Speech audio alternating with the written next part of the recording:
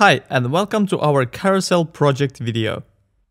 In our community, we are building different projects together to improve our skills. Today I will show you how you can build your own carousel with sliding effect from scratch. You can fork our Git repository and try to build by yourself, but let's do it together. I need to clone our repo from GitHub.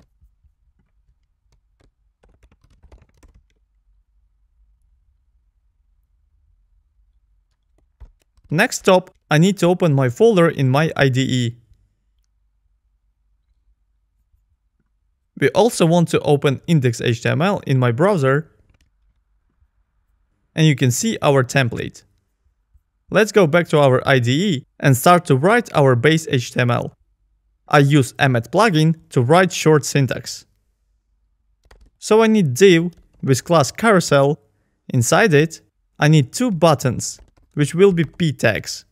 I want to have shared class now btn, btn left for left one, and btn right for the right one. Hit tab and we have our base structure. Let me add some dummy arrows inside. So here you can see our structure.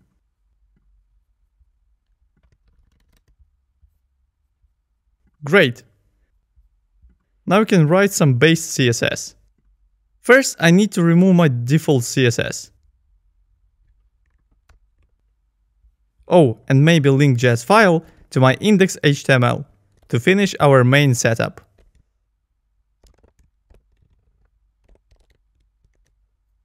Don't forget to create this file.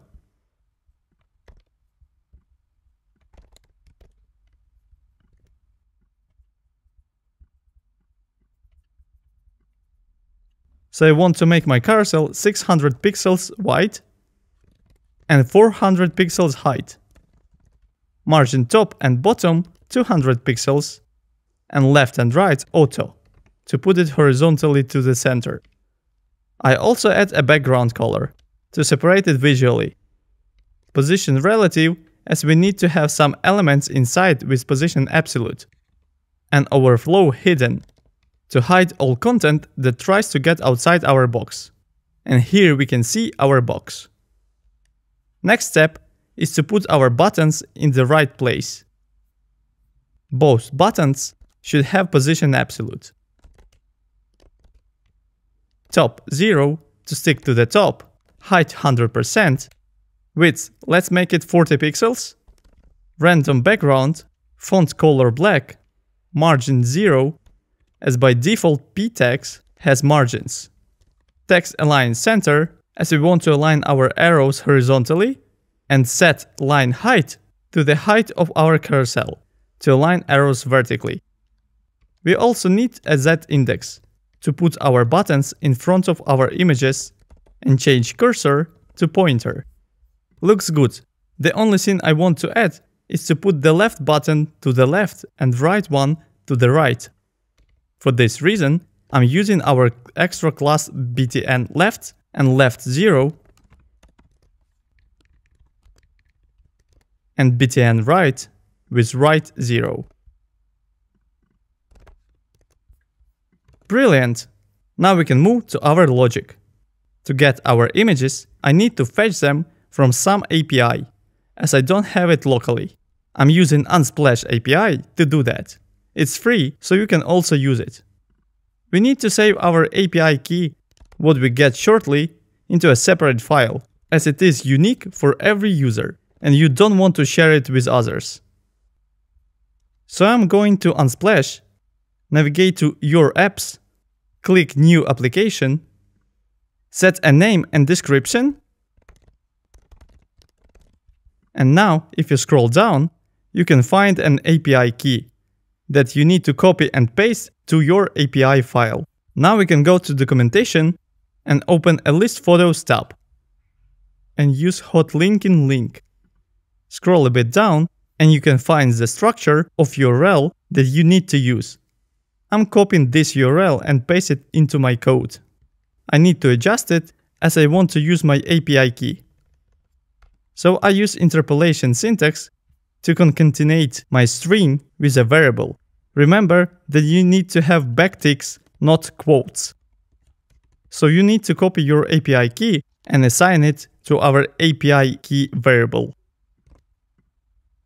Now I want to link my API file to index.html, so we get access to it from index.js.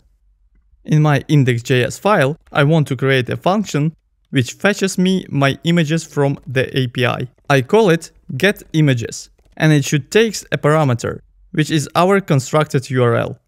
In the body of our function, we want to return a fetch request to our URL. We catch a response with then, converts it to object, and then take our object and assign it to our global variable. So let's create a global variable. I call it images. Also, I'm updating my variable by mapping my object that I just got as a response. Let's console log what we've got.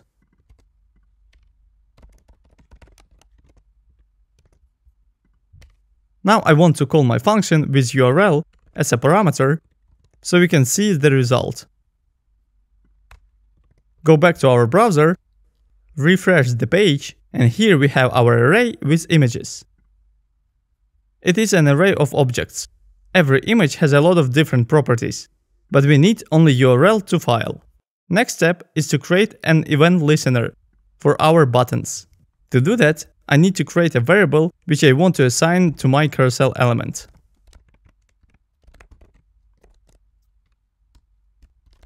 So now I can apply an event listener to our element. I want to listen for clicks. Our carousel L is a kind of scope for listening.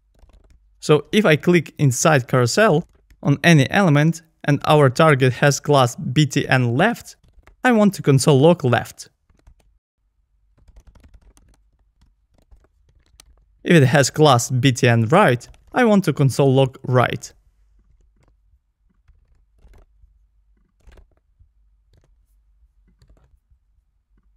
Nice, it works. So here I want to trigger click handler function, which I need to declare with parameter minus 1 if it is left and 1 if it's right.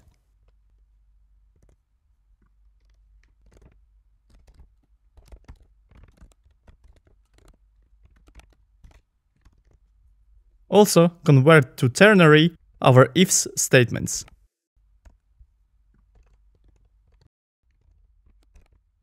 To change our image, we need to have a counter which we use as an index. By default, it should be 0. So if our parameter equals 1, we want to increase our counter. However, in this case, we also want to check does our counter less than quantity of our images minus 1. If yes, increment our counter. We use minus 1 as arrays start from 0. Otherwise, we are at the end of our array. In that case, we want to set counter to 0 and show the first image from our array. Let me convert it to ternary.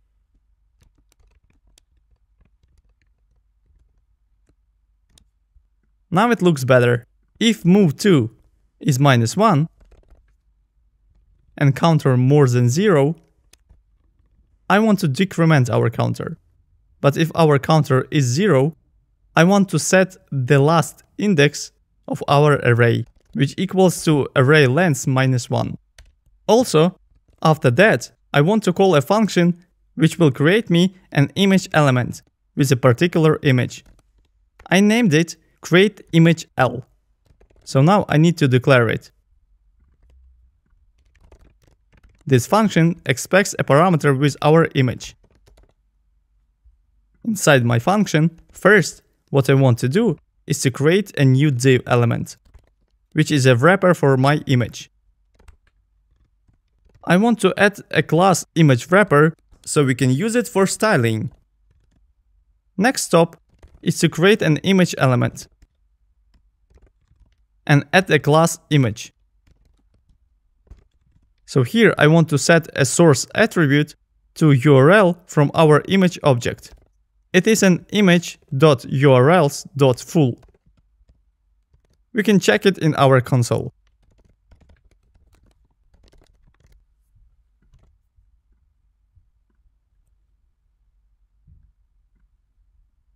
So now we want to append our image to our image wrapper. And append our image wrapper to carousel element that we already have on our page.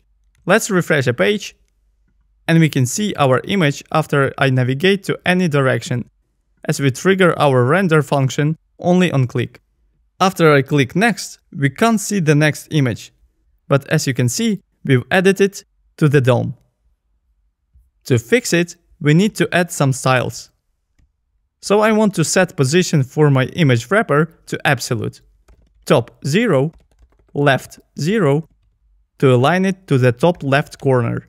Height and width 100% to cover our carousel. Also overflow hidden, so our image couldn't get outside. So now if we click next for a few times, we can see different images. Let's use a regular size for our images so we can load them quicker. So we can change images, but the problem is that we are creating new elements and may have a huge stack of it. However, first I want to adjust our image size, as it's still too big. So I want to set position absolute, top 50%, left 50%, and you can see that our image is 50% from the top and 50% from the left. Now I want to use property transform and translate my image to minus 50% on x coordinate and minus 50% on y coordinate.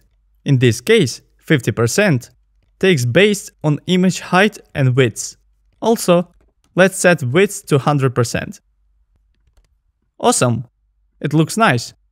Actually, we need to render the first image on initial load.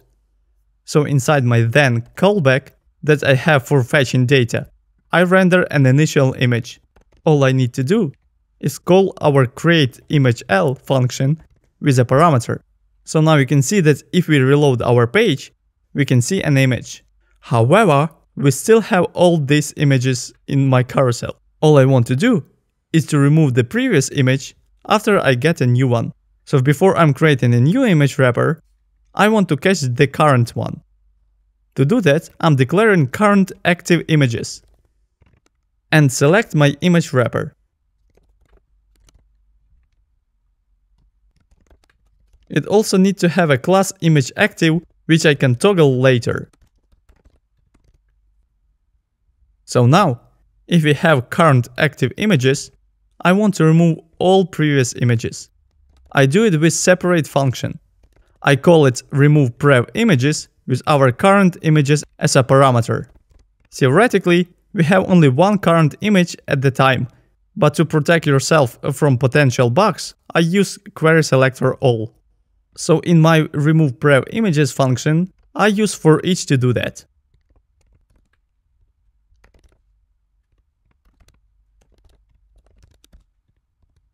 If we go to our browser,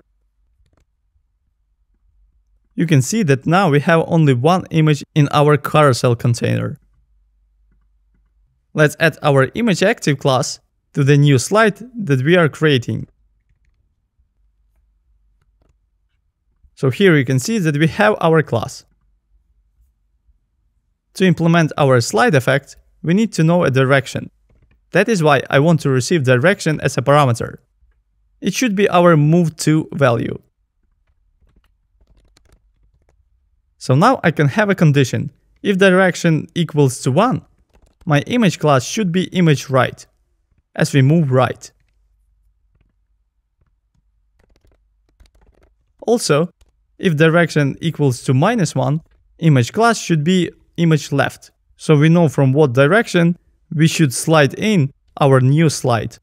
Let's create some CSS for our transition. So for our image wrapper, which also has class image left, I want to put it on left and slide to the right. That is why I use transform, translate, minus 100% and 0. The same we want for image right. But the value for transform should be translate 100% and 0. Moreover, now for our image wrapper, we want to have transition half a second. Also, if our image wrapper has class image active, it shouldn't be transformed.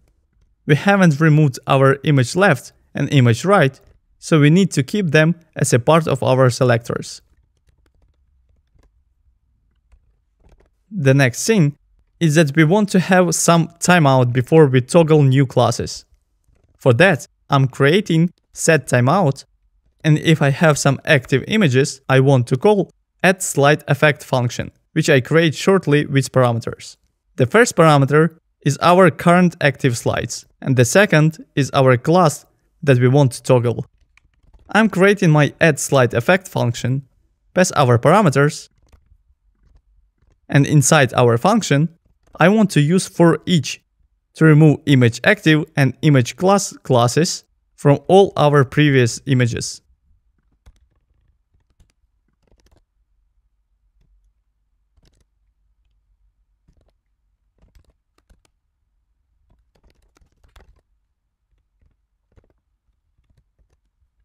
So for our new image wrapper, I want to add class image active as it is our new active image. And of course, we need a timer. Let's set it to 100 milliseconds. Now we can see that new images have a nice slide effect.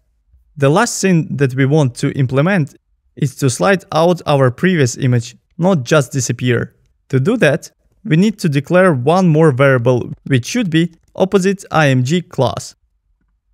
And now, if image class is image right, our opposite image class should be image left. Else image right.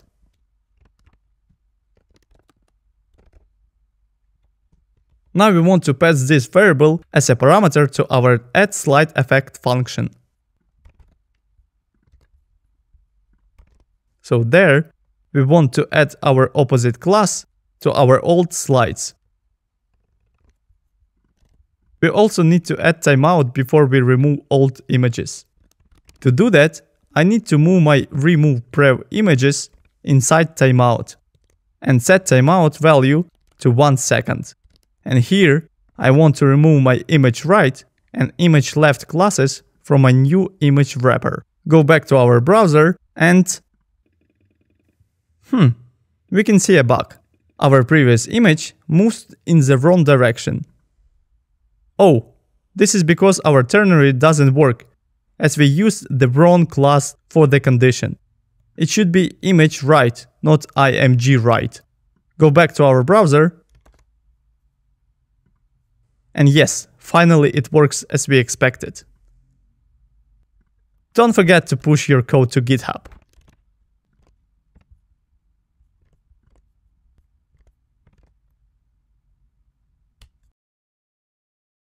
I think that was awesome. Leave a comment and tell us what else you want to build. Let's do it together. Hope you liked this video. Thanks for watching. Please subscribe to our channel, join our Gitter, and follow us on Twitter. See you in the next videos.